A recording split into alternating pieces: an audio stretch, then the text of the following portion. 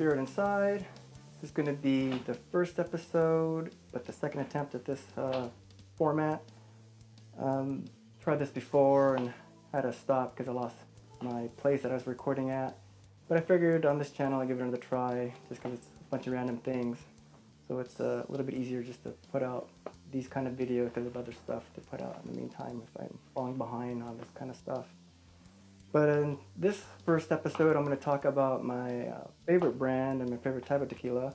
Probably going to mispronounce this a bunch of times, so forgive me, but it's uh, Tres Generaciones. I think that's kind of close. There's not really much to say, a, let's just get into it. Let's start with uh, the stats. This tequila plata is made in Jalisco, Mexico. It is 40% by volume, 80 proof, and 69 calories per ounce. Nice. And those are some basic stats about the tequila, not much really there. Um, let's just get into the history of it. Tres Generaciones is a brand that's a premium brand that's a sub brand of the Sauza Tequila Company. That company itself has a super long history, so I'm not able to cover it in this video. And what I'm discovering as I'm trying to relaunch this series is that I'll probably do just dedicated history stuff on particular brands and then introduce something, another one of their products as part of that. But in this first video, I wanted to really focus on the tequila, especially this plata that they have here. So let's start with uh, Don Cenobio Sauza. He's the first generation, and obviously that's where the brand gets its name from. He founded uh, Sauza as a distillery. He named it La Perseverancia in 1873. He's credited with determining that the blue agave was the best agave for tequila making. And he was also the first one to export tequila outside of Mexico to the United States. The second generation brings us to Don Hilados Sauza in 1909. He's also the son of Zenobia, and his main contributions include uh, expanding the variety of tequila products. He renovated the distillery process, and he expanded the business. He did much of this during the Mexican Revolution. Then in 1943, we have the third generation of Don Francisco Javier Sauza. And as his father, um, Don Hilado, he did much to expand the company, just grew the business. But he also did much more to make just tequila drinking more popular in general. He's often referred to as the world's first tequila ambassador. He was uh, also innovative on the agricultural part of the tequila process. He's wanting the like the raw materials to be of the highest quality to make sure that the end product was of high quality. And so it's with these three um, individuals in mind that we come to 1973 to com commemorate 100 years of Sauza tequila. And for that, they commissioned this uh, small premium batch. And from that premium batch, batch, we got the Tres Generaciones brand. It's still made to this day at the same distillery where Don Cenobio began in 1873. It's stated that a master distiller will look for the perfectly ripe agave for blue agave, this is between 6 and 8 years of age. Once the agave is chosen, they freshly press the juice out of it, extracting the juices in an attempt to reduce the bitterness and deliver a more crisp flavor. From there, the agave is cooked and goes through a fermentation process, and I really couldn't find anything unique or special about this part of the process. The one other thing that makes um, this brand premium and unique though is that it goes through a third distilling process rather than the normal two for the other Sauza products. Their belief there is that going through the third distilling process removes any final impurities and it, result, and it gives them a more refined flavor without any of the burn. And as my favorite tequila, I can definitely uh, say that about the Plata at least. So that's just a little bit of history. There's a ton more history I could go to in the Sauza company itself, or maybe even more just on this particular premium brand. I've kind of at the last minute decide that I'm going to redo how I approach the history part and make it a little bit shorter and simpler. So for now, we're just going to go into the review section. I'm going to start with uh, the bottle itself. From what I've seen since I've been drinking this, the second iteration. If I can, I'll see if I can find the first iteration. I like that bottle, it was perfectly fine. This one is grown on me and I like it just fine. It's got this nice wooden cork, so it gives it a little bit of classes, I guess you could say. It's got kind of almost a squarish um, dimension, so it makes it a little bit easier to stack in your shelves or wherever you keep your tequila or other liquor. One thing that I think that's a neat call out is you see that it has these three stripes on there, which I'm guessing represents the three generations that it's meant to represent.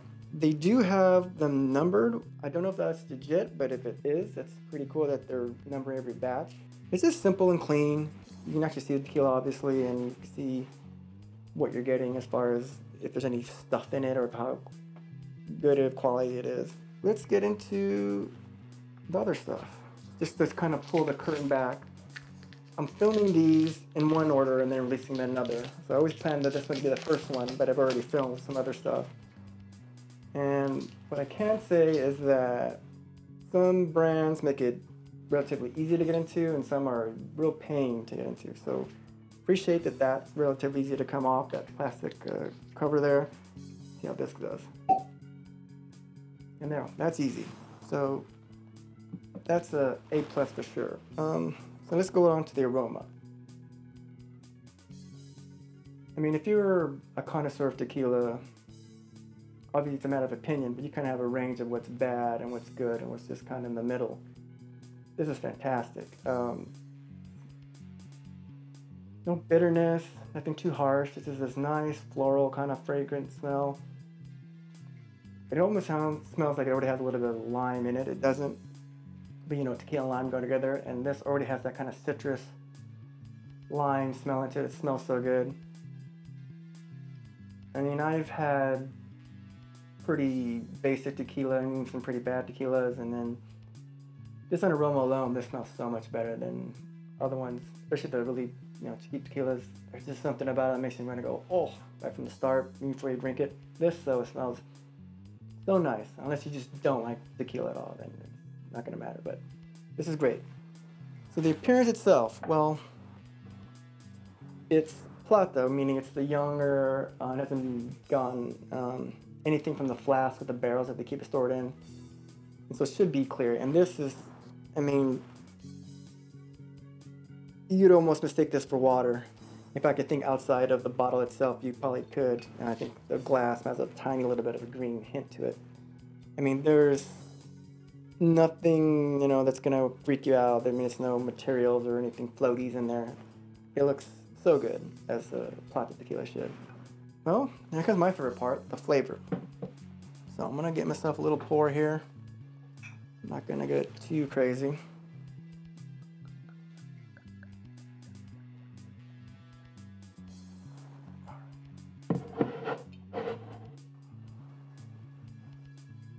All right, I'm gonna take a little sip.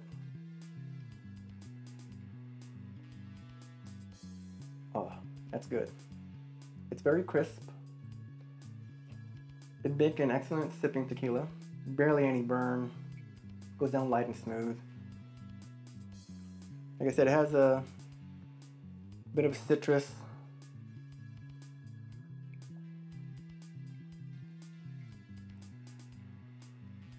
Barely taste a little bit of an alcohol aftertaste.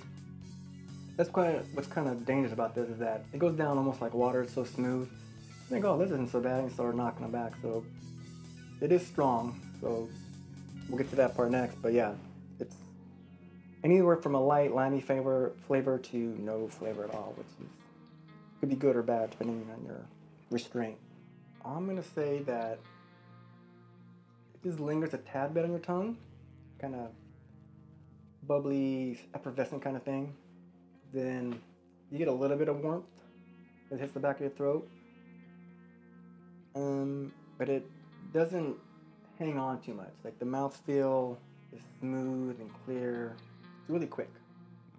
You taste what it has to offer and then it's gone. Buzz factor, just going from experience, I know that, you know, taken responsibly, you can definitely get yourself a quick buzz off this. And if, if you shoot it, you're gonna, you know, depending on your body type and all that, it, it's gonna, this will get the job done. You don't have to go spend, buy a like pour out a lot of shots to do that. I mean, make a drink with one shot into it and don't overdo it with a bunch of sugary stuff. It'll get there and definitely straight. I don't want to get too sloppy, but I know if I were to just finish this whole thing off, I would get at least a little bit of a buzz.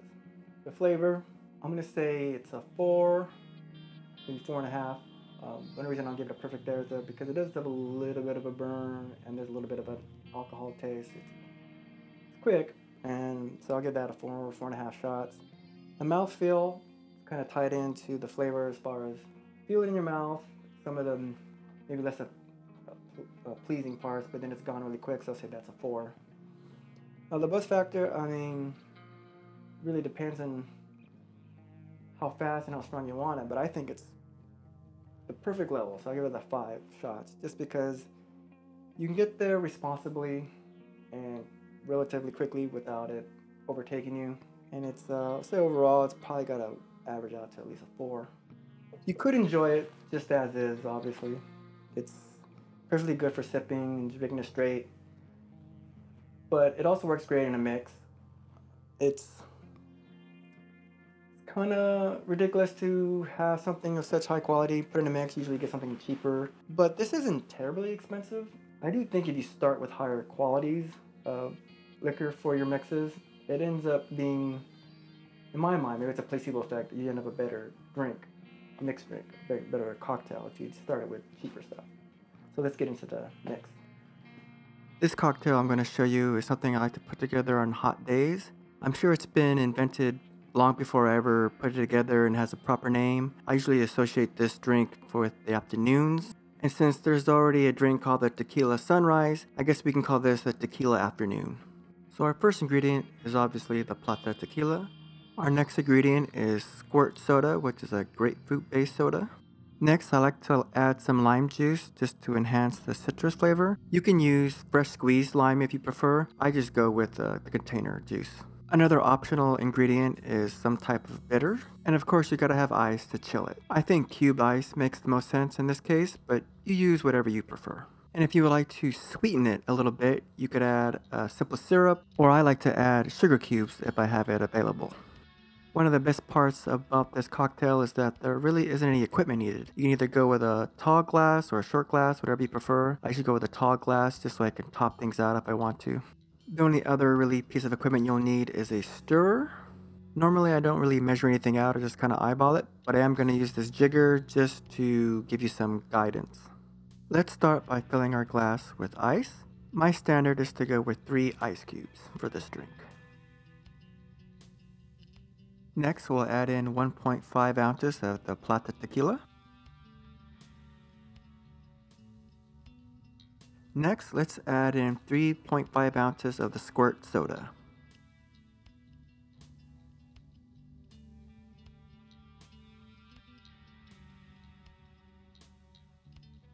Next, I'm going to add 2 ounces of lime juice. And you can stop there if you would like and just give it a quick stir, but feel free to experiment and adjust the ratio of the ingredients to your taste. You can also add some bitters if you prefer. I usually just add the bitters because I have a lot of them from other drinks that I make. I have to admit that no matter what type of bitter I use, I don't really notice it in the flavor, but it does change the mouthfeel a little bit. It gives it an airy and lighter feel, which is nice on a hot day. And there you go. That's how we make that drink like I said, it's not something original, something I'm sure that's been invented by someone else and has a proper name. Kind of came across it also on my own, so I don't have a particular name for it. It's just how I like to drink this Plata tequila. So let's go ahead and review how it came out. Now, like I said, most of the time I just eyeball this drink and pour to taste. But I try to come up with some kind of measurements there that'll hopefully guide you. Normally, I, I drink in a tall glass like this, and it's probably a little bit higher than that. I'll probably put a little bit more um, uh, the squirt, but I figured that's just a good starting point. You can just adjust to your taste if you want less squirt, more squirt, or more tequila, less tequila, or more of the lime juice. Pretty simple. So let's start with um, the aroma. And I think it's as good as it was before, it's improved because you still have that citrusy smell in it, but now it's kind of enhanced by the grapefruit soda, which is the squirt is.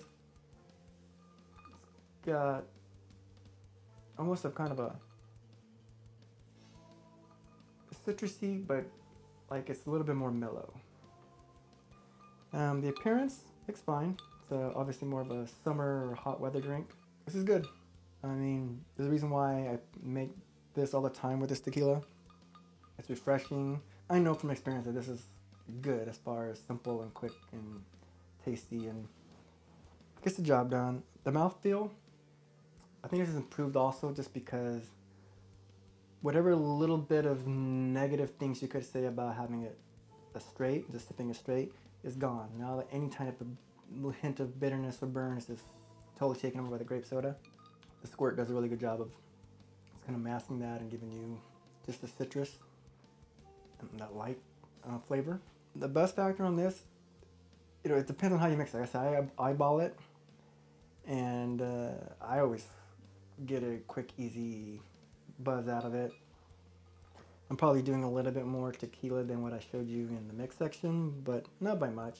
And but then I'm also putting quite a bit of more of the squirt to top it off. Like I said, it's usually up to about here. In any case, that's pretty much it. My favorite tequila, my favorite mix to do with it. So until the next time, enjoy the spirits within.